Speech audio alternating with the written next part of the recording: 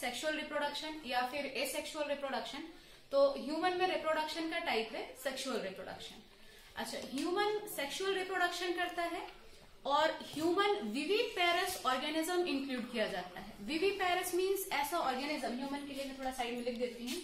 Human में sexual reproduction होता है और सेक्सुअल रिप्रोडक्शन के अलावा ह्यूमन को किस कैटेगरी में मेंशन किया जाता है? ह्यूमन को विविपेरस ऑर्गेनिज्म। विविपेरस ऑर्गेनिज्म उन ऑर्गेनिज्म को बोला जाता है जो डायरेक्ट चाइल्ड बर्थ करते हैं। तो क्योंकि ह्यूमन में जो नई प्रोजेनी आती है, वो डायरेक्ट चाइल्ड बर्थ के थ्रू आती है, इसलिए ह्यूमन को आप किसमें मेंशन करेंगे? वीवी पेरस में एनसीआरटी की फ़र्स्ट लाइन स्टार्ट होती है कि in human sexual reproduction occurs and human is considered as viviparous organism. अच्छा अब ये जो हमारा रिप्रोडक्टिव सिस्टम है, उसको आप दो पार्ट में हम यहाँ पढ़ेंगे। एक पार्ट में हम पढ़ेंगे मेल रिप्रोडक्टिव सिस्टम और दूसरे पार्ट में हम पढ़ेंगे फीमेल रिप्रोडक्टिव सिस्टम यानी चैप्टर के दो सेक्शन होंगे, आप समझिए थोड़ा सा चैप्टर के दो सेक्शन होंगे मेल रिप्रोडक्टिव सिस्टम और female reproductive system male reproductive system में हम ओवरऑल जितने भी मेल के रिप्रोडक्टिव ऑर्गन है, उनके बारे में मेल रिप्रोडक्टिव ऑर्गन्स के बारे में डिस्कस करेंगे. उसके बाद मेल में गैमीट फॉर्मेशन कैसे होगा? यहाँ गैमीट मींस स्पम का फॉर्मेशन कैसे होगा? स्पम का स्ट्रक्चर क्या होगा? यहाँ तक हम डिस्क्राइब करेंगे मेल रिप्रोडक्टिव सिस्टम में। फिर अगले पार्ट में हम, यानी चैप्टर का अगला सेक्शन आप मान सकते हैं। चैप्टर के अगले सेक्शन में हम मेंशन करेंगे फीमेल रिप्रोडक्टिव सिस्टम जिसमें हम डिस्क्राइब करेंगे फीमेल रिप्रोडक्टिव ऑर्गन उसके बाद हम डिस्क्राइब करेंगे फीमेल में गैमीट फॉर्मेशन कैसे होगा गैमीट का स्ट्रक्चर क्या होगा। जब ये दोनों मेल रिप्रोडक्टिव सिस्टम और फीमेल रिप्रोडक्टिव सिस्टम कंप्लीट हो जाएँगे तो चैप्टर का थर्ड सेक्शन आएगा फर्टिलाइजेशन और उसके बाद इम्प्लांटेशन प्रेगनेंसी ड्यूरेशन और आगे चाइल्ड बर्थ का प्रोसेस यानी चैप्टर के आप तीन छोटे पार्ट मान सकते हैं male reproductive part female reproductive part then आगे fertilisation implantation and parturition parturition that means child birth आइए सबसे पहले हम स्टार्ट करते हैं मेल रिप्रोडक्टिव सिस्टम में। मेल रिप्रोडक्टिव सिस्टम को मैंने एक यहाँ पर एक शॉर्ट डायग्राम डिनोट किया है। आप एनसीआरटी से भी प्रॉपर डायग्राम देख सकते हैं। मेल रिप्रोडक्टिव सिस्टम में कौन कौन से ऑर्गन इंक्लूडेड हैं? कौन कौन से ऑर्गन इंक्लूडेड हैं? एक ओवरव्यू डायग्राम मैं आपके सामने दे रही हूँ। इस डायग्राम को आप ध्यान से देखिए और ड्रॉ करिएगा, क्योंकि ये डायग्राम अभी आगे हमारा कई दिनों तक मेल रिप्रोडक्टिव सिस्टम चलने वाला है। जब तक ये चलेगा, तब तक के लिए आपका ये डायग्राम एक बेस होगा, सबसे फंडामेंटल पार्ट होगा ये डायग्राम तो प्लीज़ इसकी तरफ़ फोकस करिएगा।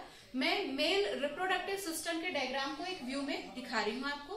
पूरा ओवरऑल एक डायग्राम आपको एक बार पूरा एक्सप्लेन करूँगी। उसके बाद एक एक पार्ट को अलग से हम पढ़ेंगे। आइए देखते हैं। मेल रिप्रोडक्टिव सिस्टम में अच्छा एक चीज़ थोड़ा सा ध्यान दीजिएगा। डायग्राम थोड़ा हाफ़ पार्ट में बना हुआ है। जैसा पार्ट इधर बना हुआ है, बिल्कुल वैसे ही पार्ट एक लेफ़्ट साइड में में भी होगा। अभी आप थोड़ी देर के लिए ये एज्यूम कर लीजिए कि जैसे मैंने राइट साइड में जो पार्ट बनाया है, बिल्कुल वैसे इधर लेफ़्ट साइड में भी एक पार्ट होगा। आप अगर समझने में दिक्कत हो रही है तो एनसीआईटी एक बार ओपन ज़रूर करिएगा मेल रिप्रोडक्टिव सिस्टम का ओवरव्यू डायग्राम देखने के लिए। यहाँ पर जब आप मेल रिप्रोडक्टिव सिस्टम का डायग्राम हम देखते हैं तो सबसे पहले आप ध्यान से देखिए, ये एक पाउच लाइक स्ट्रक्चर है। ये एक पाउच लाइक स्ट्रक्चर है। इस पाउच लाइक स्ट्रक्चर का नाम है स्क्रोटल सैक इस पाउच लाइक स्ट्रक्चर का नाम है स्क्रोटल सैक और इस स्क्रोटल सैक के अंदर स्क्रोटल सैक के अंदर यहाँ पर एक ओवल शेप का स्ट्रक्चर है। एक ओवल शेप का ये स्ट्रक्चर प्लीज़ फोकस इस ओवल शेप का ये स्ट्रक्चर जिसे हम ऑर्गन का नाम है testis that means pouch like structure which is called scrotal sac and it included a oval shaped structure which is called testis. Here testis attached with scrotal sac. Testis attached with scrotal sac by this fibrous band. Like structure से इस pouch like structure से scrotal sac को जोड़ने के लिए ये fibrous band है और इन फाइब्रस बैंड का नाम है गुबरनेकुलम इन फाइब्रस बैंड को हम बोलेंगे गुबरनेकुलम देन उसके बाद, आप ध्यान से देखिए टेस्टिस जो ये ओवल शेप ब्लू कलर की स्ट्रक्चर है टेस्टिस से एक फोल्डेड मैंने ब्लैक कलर की फोल्डेड इस तरह से आपको लाइन दिखाने की कोशिश की है। ये ब्लैक कलर की जो फोल्डेड लाइन है, या जो ट्यूब है, इस ट्यूब का नाम है epididymis that means you can say epididymis comes out from testis.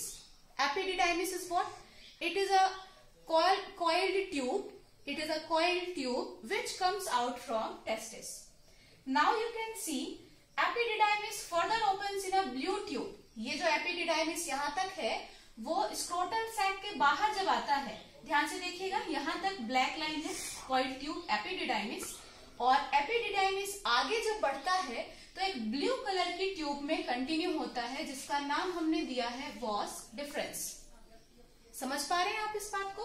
कि टेस्टिस से बाहर एक कॉयल ट्यूब आएगी कुंडलित नलिका आएगी, जिसे बोलेंगे एपिडिडाइमिस और वो जो एपिडिडाइमिस है, वो आगे वापस से कॉयल ट्यूब में जाएगी। एक लंबी ट्यूब आप देखिए, यहाँ से लेकर काफ़ी आगे तक गया है, जिसे हम नाम देंगे वॉस डिफरेंस यहाँ तक क्लियर है? आगे बढ़ते हैं। लास्ट ईयर आपने एक्सक्रेटरी सिस्टम का व्यू देखा होगा। मैं आपको थोड़ा सा डिनोट कर देती हूँ साइड में। एक्सक्रेटरी सिस्टम में आपने ऐसा देखा होगा कि ये किडनी और किडनी से बाहर आते हैं यूरेटर और ये यूरेटर ओपन होते हैं यूरिनरी ब्लैडर में और ब्लैडर की ओपनिंग होती है यूरिथ्रा बस छोटा सा व्यू मैं आपको दे रही हूँ। ये किडनी किडनी से बाहर आते हैं यूरेटर जो यूरिन को लेके आते हैं और ureter opens into the sac, which is called urinary bladder, and bladder opens into urethra. And bladder opens into urethra. बस इतने व्यू को यूरेटर यूरिनरी ब्लैडर और यूरिथ्रा इतने व्यू को यहाँ पर फिर से दिखाया गया है। ये जो ट्यूब है, ये जो ट्यूब है which is called ureter kidney वापस से मेंशन नहीं किया गया है। आपने लास्ट ईयर एक्सक्रेटरी सिस्टम पढ़ा है, पर यहाँ पर फोकस करिएगा कि यूरेटर ओपन हो रहा है इस urinary bladder U B means urinary bladder. Ureter open into this urinary bladder and urinary bladder से, ये जिस छोटे से पॉइंट को हमने यूरिथ्रा बोला था, मेल में वो यूरिथ्रा पाइपलाइन काफ़ी लंबी रहती है। So urinary bladder open in this pipeline ये यूरिनरी ब्लैडर यहाँ तक प्लीज़ फोकस यूरिनरी ब्लैडर यहाँ तक। और यूरिनरी ब्लैडर की ये ओपनिंग ये लॉन्ग ओपनिंग लंबी ओपनिंग इस लंबी ओपनिंग को बोलते हैं हम यूरिथ्रा ये नाम भी लिखा हुआ है पाइपलाइन के अंदर। तो यूरिनरी ब्लैडर ओपन हो रहा है यूरिथ्रा में। इज़ दैट क्लियर ना वॉस डिफरेंस, एपिडिडाइमिस किसमें ओपन हुआ था? वॉस डिफरेंस में। अब ये वॉस डिफरेंस अच्छा एक छोटा सा पॉइंट और स्क्रोटल सैक की पोजीशन है टेस्टिस की पोजीशन कहाँ है? टेस्टिस की पोजीशन तो आप समझ ही रहे हैं स्क्रोटल सैक के अंदर है। लेकिन ये जो स्क्रोटल सैक है, ये बॉडी में एब्डोमिनल कैविटी के बाहर है। बॉडी में एब्डोमिनल कैविटी के बाहर है। ध्यान दीजिएगा while all other remaining organs situated in abdominal cavity ज़्यादातर हमारे बॉडी ऑर्गन्स एब्डोमिनल कैविटी में एब्डोमिनल कैविटी के अंदर रहते हैं, लेकिन टेस्टिस एब्डोमिनल कैविटी के बाहर स्क्रोटल सैक के अंदर पाया जाता है। In male testis organ situated just out the abdominal cavity and it is enclose by scrotal sac is that clear तो ये जो स्क्रोटल सैक है और टेस्टिस है, इसकी पोजीशन क्या है? एब्डोमिनल कैविटी के बाहर। लेकिन ये टेस्टिस की जो जो ट्यूब है वॉस डिफरेंस ये वॉस डिफरेंस कहा जाती है? वॉस डिफरेंस को ध्यान से देखिएगा, ये वॉस डिफरेंस यहाँ पर यूरिथ्रा को क्रॉस करते हुए यूरिनरी ब्लैडर के चारों तरफ़ से एक लूप बना रही है।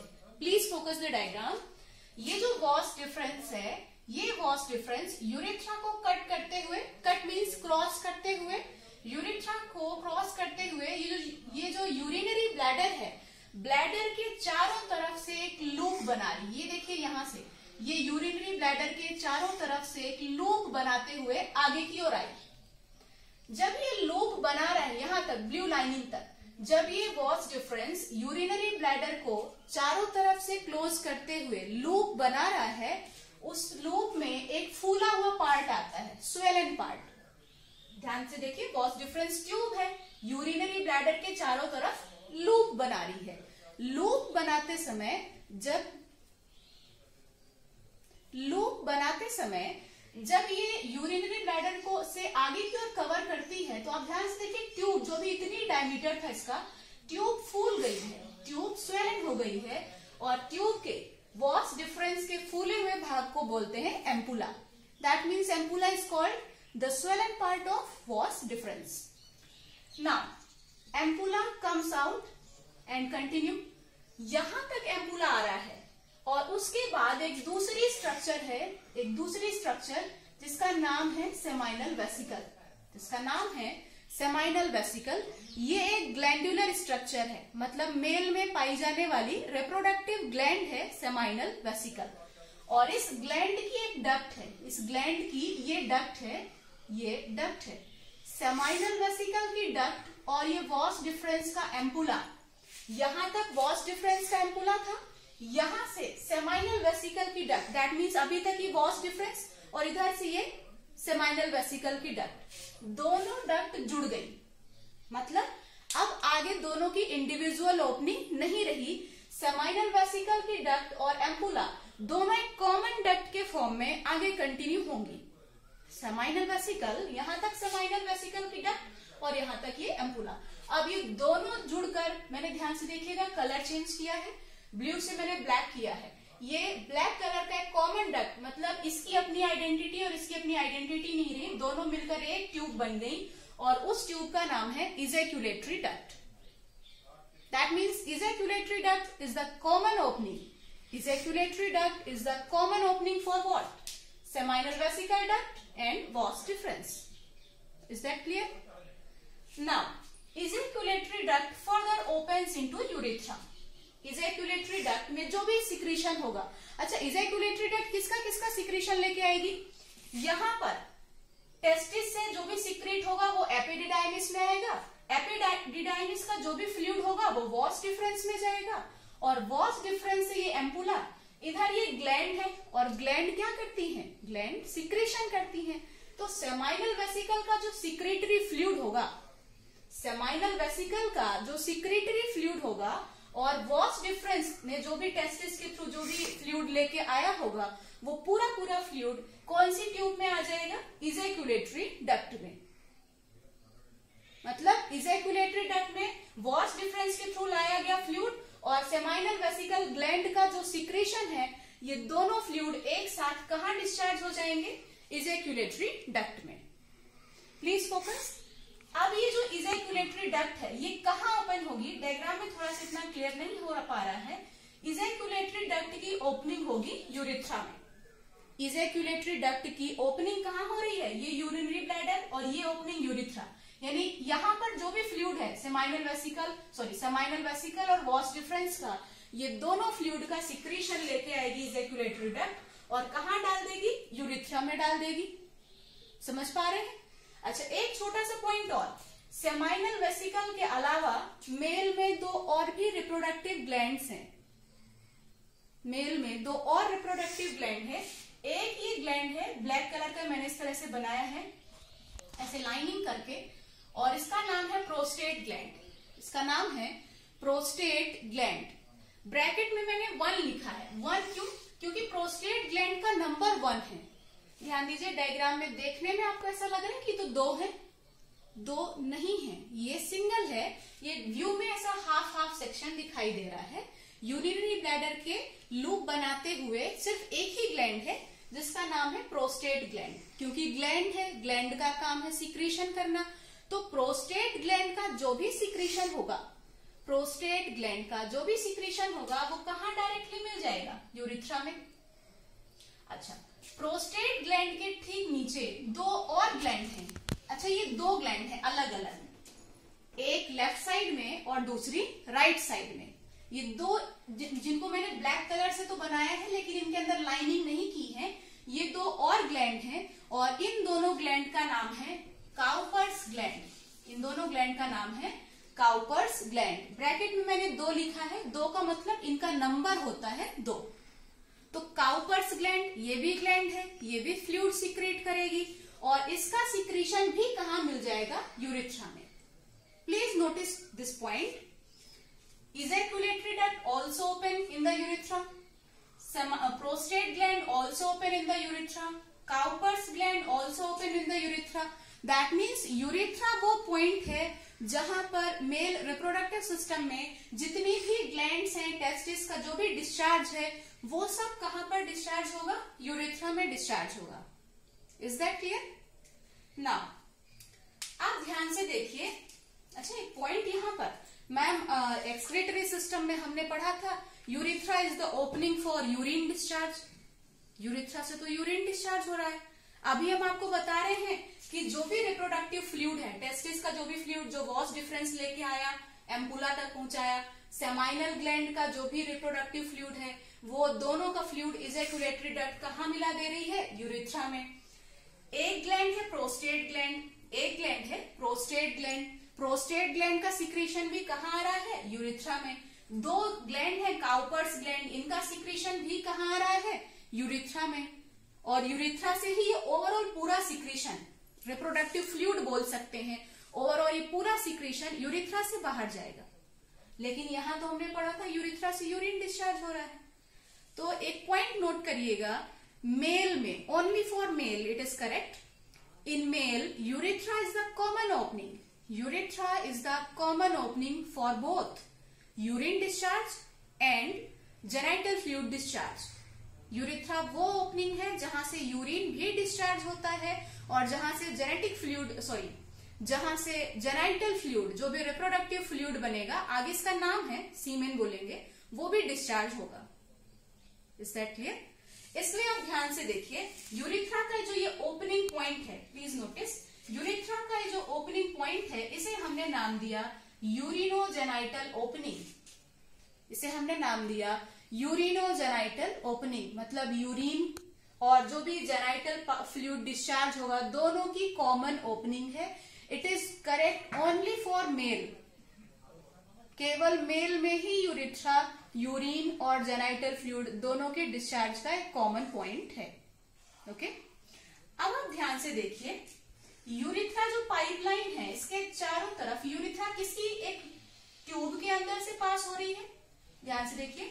ये यूरिथ्रा जो है पाइपलाइन यूरिथ्रा पाइपलाइन इस पर्टिकुलरली स्ट्रक्चर एक सिलेंड्रिकल स्ट्रक्चर है, इस सिलेंड्रिकल स्ट्रक्चर के अंदर से होकर यूरिथ्रा पास हो रही है।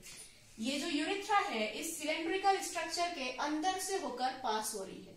ये जो सिलेंड्रिकल स्ट्रक्चर है, ये मेल का आउटर कॉपुलेटरी ऑर्गन है मेल का आउटर जेनाइटल पार्ट है, जिसे नाम दिया जाता है penis this is the outer copulatory part of male which is called penis that means urethra pass out from penis ना पेनिस का ये जो सेक्शन है, ये जो अपर पार्ट है, इसे बोलेंगे यहाँ से लेकर यहाँ तक। ये ध्यान से देखिए, यहाँ से लेकर यहाँ तक का जो पार्ट है, उसे हमने नाम दिया बॉडी ऑफ़ पेनिस हमने नाम दिया बॉडी ऑफ़ पेनिस और पेनिस का जो एंटीरियर पार्ट है लोअर एंटीरियर पार्ट इसे हमने नाम दिया ग्लांस पेनिस पेनिस का जो निचला पार्ट है, इसे हमने नाम दिया glans penis. Please focus penis is the cylindrical structure from where urethra pass out okay and the upper section is body of penis and the lower part is glans of penis या glans penis the lower part is glans penis okay and the junction between them body of penis और glans penis के बीच का जो junction point है this one is called corona glandis This one is called corona glandis The junction between body of penis and glans penis is called corona glandis. Okay? एक point और note करिए penis का ये जो glans penis वाला part है जो थोड़ा सा चौड़ा पार्ट है ग्लांस पेनिस वाला पार्ट उसके ऊपर, ध्यान से देखिएगा, उसके ऊपर इस तरह से ब्लैक कलर की पतली लेयर पाई जाती है इस पतली लेयर को बोलते हैं prepuce that means you can say अच्छा ये प्रिप्यूज क्या है? ये स्किन का बना हुआ लूज फोल्ड है। स्किन का बना हुआ लूज फोल्ड है। That means you can say glans penis is covered by a loose skin fold glans penis is covered by a loose skin fold and this loose skin fold is called prepuce prepuce का एक और भी नाम है, मैं यहाँ side में लिख रही हूँ। प्रिप्यूस का एक और नाम है, इसको फोर स्किन के नाम से भी जानते हैं। प्रिप्यूस और फोर स्किन दोनों टर्म यूज़ करते हैं। क्या है prepuce it is the loose skin which covered glans penis glans penis को कवर करने वाले स्किन का लूज लेयर क्या कहलाएगा? Prepuce is everything is clear in this diagram थोड़ा सा एक पॉइंट आपके दिमाग में और, क्योंकि ये जो पेनिस से जुड़ा हुआ, ये जो पाउच स्क्रोटल्स है, मैंने सिर्फ़ एक आपको दिखाया है डायग्राम में। और जैसा इधर है, बिल्कुल वैसा ही लेफ़्ट साइड में भी आप एज्यूम करिए, या एनसीआरटी का व्यू देख सकते हैं। तो जैसा स्ट्रक्चर इधर से जाएगा वन टेस्टिस वैसे उधर भी एक टेस्टिस जैसे इधर एपीडीडाइमिस वैसे उधर भी एपीडीडाइमिस जैसे इधर वॉस डिफरेंस वैसे उधर भी वॉस डिफरेंस जब यहाँ से वॉस डिफरेंस जा रहा है एम्पुला के साथ सेमाइनल वेसिकल बना रहा है, वैसे लेफ़्ट साइड में भी एक सेमाइनल वेसिकल और बनेगी। दैट मीन्स सेमाइनल वेसिकल जो ग्लैंड है, इसका नंबर भी कितना होता है? दो। तो मेल में तीन ग्लैंड सेमाइनल वेसिकल जो नंबर में दो हैं, आप वन पेयर बोल सकते हैं। नंबर में दो या फिर वन पेयर दूसरी ग्लैंड है प्रोस्टेट ग्लैंड जो सिंगल है, एक ही है, दो नहीं है ये। और तीसरी ग्लैंड है काउपर्स ग्लैंड ये भी कितनी होती है? दो। तो ये एक ओवरव्यू डायग्राम था। मेल रिप्रोडक्टिव सिस्टम का। अब एक एक करके हम इन सारे ऑर्गन्स के बारे में डिटेल करेंगे। प्लीज़ इस डायग्राम को ढंग से देखिएगा, क्योंकि जब तक आपका मेल रिप्रोडक्टिव सिस्टम कंप्लीट नहीं होता, तब तक ये डायग्राम बहुत ही यूजफुल होगा। ये पूरे पार्ट्स अभी हमारे आगे के टॉपिक होंगे। हम एक एक करके पढ़ेंगे। Scrotal sac testis epididymis vas deferens सारे पार्ट्स को हम एक एक करके पढ़ने वाले हैं। सारे पार्ट्स को हम एक एक करके पढ़ेंगे। अगर आप मेल रिप्रोडक्टिव सिस्टम में मेल रिप्रोडक्टिव सिस्टम में कौन कौन से ऑर्गन्स हैं, इनकी एक लिस्ट बनाएँ तो उस लिस्ट में आप क्या क्या लिखेंगे? टेस्टिस टेस्टिस होते हैं वन पेयर उसके बाद आप लिखेंगे scrotal sac epididymis vas deferens urinary bladder और यूरेटर को शामिल नहीं करेंगे यूरेट्रा एंड पेनिस इसके अलावा तीन ग्लैंड तीन टाइप की सेमाइनल वेसिकल जो कि नंबर में दो है प्रोस्टेट ग्लैंड नंबर में एक है, काउपर्स ग्लैंड नंबर में दो है। तो ये हमारे होंगे मेल रिप्रोडक्टिव सिस्टम का एक ओवरव्यू। इन सारे ऑर्गन मिलकर, सिस्टम का मतलब क्या है? System means group of organs. तो ये सारे ऑर्गन मिलकर एक साथ बनाएँगे रिप्रोडक्टिव सिस्टम, लेकिन इन सभी ऑर्गन्स में एक मेन ऑर्गन होगा। और वो मेन ऑर्गन कौन है? टेस्टिस। वो मेन ऑर्गन कौन है? टेस्टिस। टेस्टिस को प्राइमरी ऑर्गन बोलते हैं। Testis is called the primary reproductive organ of male why because gamete formation completes in testis जो गैमीट फॉर्मेशन स्पर्म फॉर्मेशन की प्रोसेस है, वो कहाँ कंप्लीट होती है? वो टेस्टिस में ही कंप्लीट होती है। इसलिए टेस्टिस को मेल रिप्रोडक्टिव सिस्टम का प्राइमरी ऑर्गन मानते हैं। Testis is the primary organ while other organ all other structures included at secondary organs testis के अलावा बाकी जितने भी स्ट्रक्चर्स आपने देखे, वो सब सेकेंडरी स्ट्रक्चर्स में मेंशन किए जाएँगे। एक पॉइंट मैंने थोड़ी देर पहले आपको बोला था कि जो टेस्टिस है, किसके अंदर है? स्क्रोटल सेट के अंदर दिखाई दे रहा है। टेस्टिस एब्डोमिनल कैविटी के बाहर है। भाई ऐसा क्यों? सारे ऑर्गन एब्डोमिनल कैविटी में आ रहे हैं। टेस्टिस ही एब्डोमिनल कैविटी के बाहर क्यों जा रहा है? इसका एक मेन कारण है टेस्टिस का काम क्या है? स्पर्म फॉर्मेशन गैमीट फॉर्मेशन और गैमीट फॉर्मेशन के लिए जो टेम्परेचर चाहिए गैमेट फॉर्मेशन के लिए जो टेम्परेचर चाहिए नॉर्मल बॉडी टेम्परेचर कितना होता है? 37 degree Celsius normal body temperature से ऑलमोस्ट 2 से 2.5 डिग्री सेल्सियस कम होना चाहिए। नॉर्मल बॉडी टेम्परेचर से 2 से 2.5 डिग्री सेल्सियस कम होना चाहिए। और उस कम टेम्परेचर को अचीव करने के लिए, कम टेम्परेचर एरिया लेने के लिए टेस्टिस कहाँ पाए जाते हैं? स्क्रोटल सैक में पाए जाते हैं। ठीक है?